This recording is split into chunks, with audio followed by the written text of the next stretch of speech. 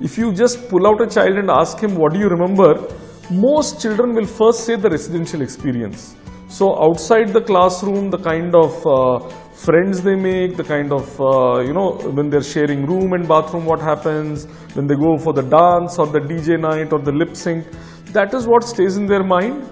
Perhaps what happens is uh, these children back in their school and home environment, they are a little different from the other children because you know they are so interested in learning they may not be going out that much for you know similar activities as other children so perhaps they feel more comfortable doing even these other non-academic activities with people who are you know similarly gifted as them Um, well, when I was first coming here, uh, I was terrified.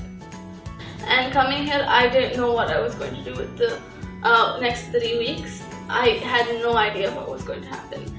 And then I met my roommates, and I, was dreading the moment when I first meet them. But when I met them, I realized how similar we were, and I kept meeting new people and bonding with them over the simplest of things. And there were all of these things like the DJ nights or the competitions or the sports day or anything. And that brought all of these connections between us. Like when my dad told me what what happens if we move to Bangalore, I'm like I said no, I, I don't want to. I don't know how I'm gonna make friends. But like after coming to Asset and learning that I could I could make friends so easily, I miss how tough would it be at a new city. Here the campus is amazing, like you have such a lot of greenery and you have students who match you on an intellectual level with whom you can converse easily. So, uh, and you learn new things over here, so that's really good. So three weeks, uh, like I've had a lot of fun having respite on DJ nights, uh, learning new things in our course, having activities like basketball, quizzes, football, and then having some free dorm time and all of that. It was really enjoyable.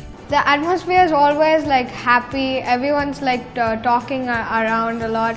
from what I've heard from my different friends, going to hostels in general, the food is there is not good.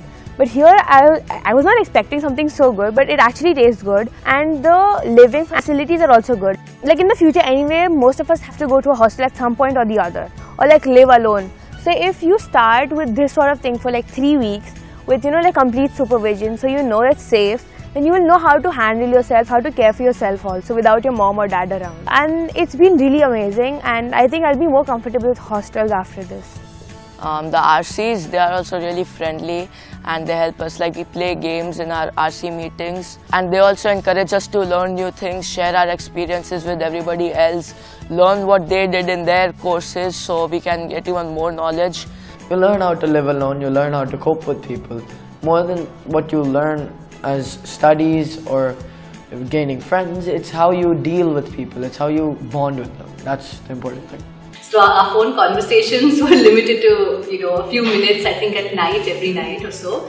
Uh, but con- he consistently said that I'm having a great time, very well taken care of, uh, supervised all the time, stimulated, engaged in various different activities. Small, small things like food is really good. Our RCs are, you know, uh, we have open communication with them. He said my teacher is excellent. My teaching assistant is really great. So he had very, very good uh, feedback. We were very happy. You're extremely happy. Very happy. And I think one more thing that really works um, as an advantage is coming from North India. Our kids have a very restricted interaction with kids from down south. This sort of brings down a lot of distance barriers also that tend to come in. It was the best experience of my life. It was like, um, I still can't believe like so many days are already over. It went by really fast and we had a lot of fun.